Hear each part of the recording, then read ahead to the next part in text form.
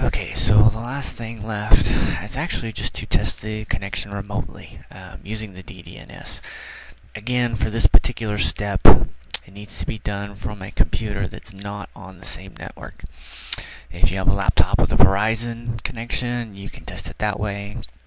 Another option would be to call back to your main office and have them test it, or you can call us here at Spy Centre Security and we'll test it for you. Uh, just go back into your DVR list and we're going to add one more. And this time, instead of using the IP information, we're going to be using the DDNS information. We want to use those words. Just go ahead and put in your.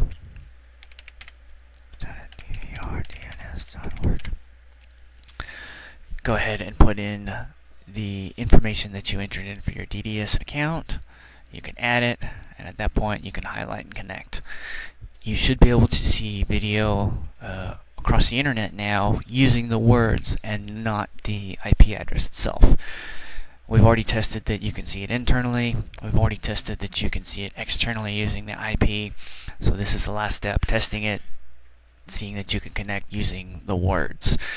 If you've gotten to this point and the video is not showing up, logically the place to go would be the DDNS configuration.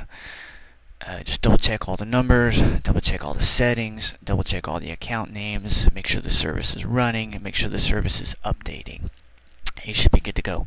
That actually completes the entire process, start to finish. And this is arguably the most common configuration you would ever see. Um, it's very common to see a, an internet connection that's dynamic with a single modem and a single router with one or more computers behind it.